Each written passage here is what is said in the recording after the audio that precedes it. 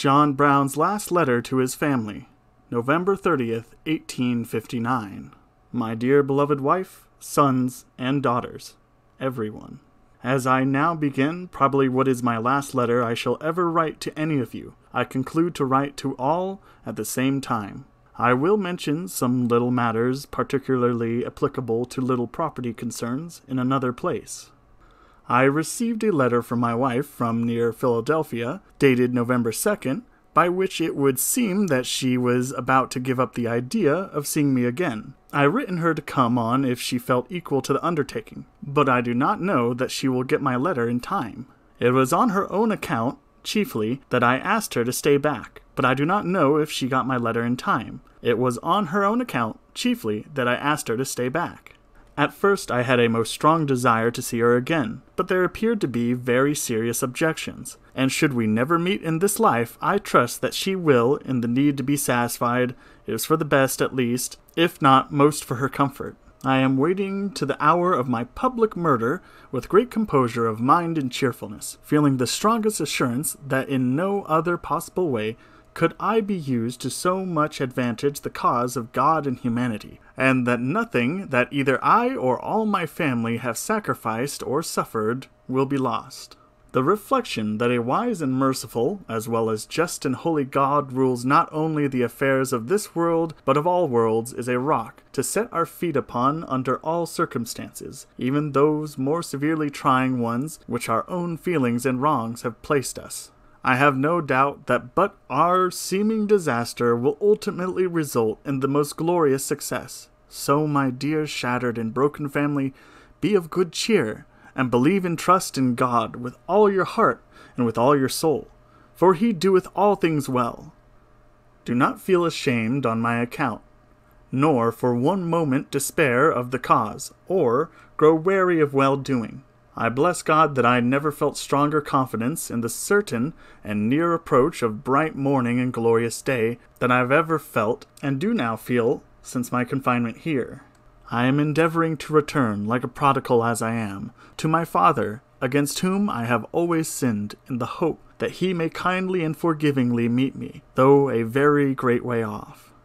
O oh, my dear wife and children, would to God you could know how I have been travailing in birth for you all, that no one of you may fail of the grace of God through Jesus Christ. That no one of may fail of the grace of God through Jesus Christ. That no one of you may blind to the truth and glorious light of his word, in which life and immortality are brought to light.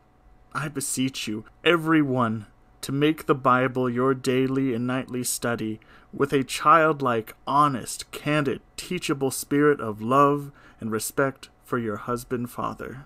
And I beseech the God of my fathers to open all your eyes to the discovery of the truth. You cannot imagine how much you may soon need the consolations of the Christian religion. Circumstances like my own, for more than a month past, have convinced me beyond all doubt of my own great need for some theories treasured up. When our prejudices are excited, our vanity worked up to the highest pitch. Oh, do not trust your eternal all upon the boisterous ocean, without even a helm or compass to aid you in steering. I do not ask you to throw away your reason. I only ask you to make candid, sober use of your reason. My dear young children, will you listen to this last poor admonition of one who can only love you? Oh, be determined at once to give your whole heart to God, and let nothing alter or shake that resolution. You need have no fear of regretting it.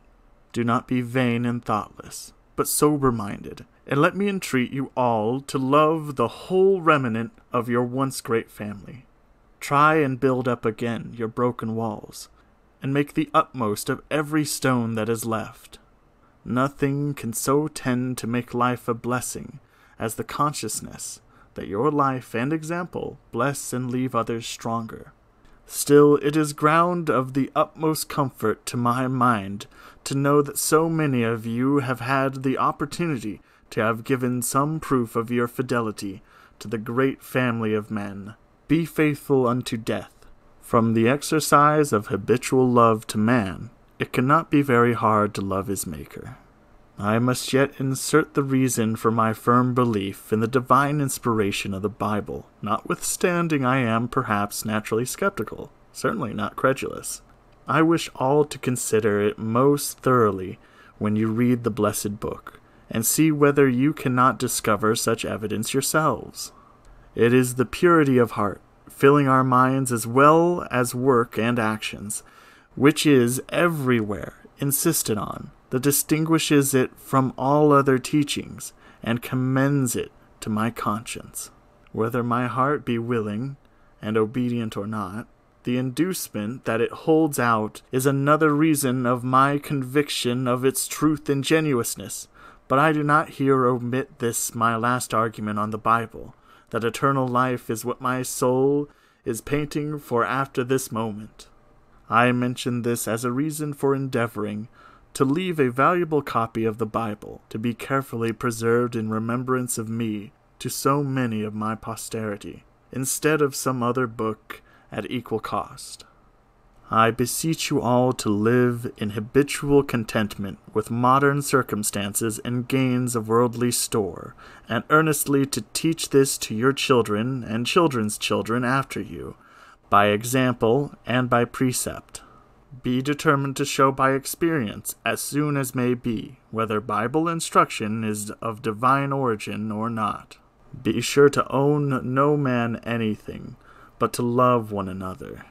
John Rogers wrote to his children, Abhor the errant whore of Rome. John Brown writes to his children to abhor, with undying hatred also, that sum of all villainies, slavery. Remember, he that is slow to anger is better than the mighty, and he that ruleth his spirit, that he that taketh a city. Remember also that they being wise that shall shine, and they that turn many to righteousness, as the stars for ever and ever.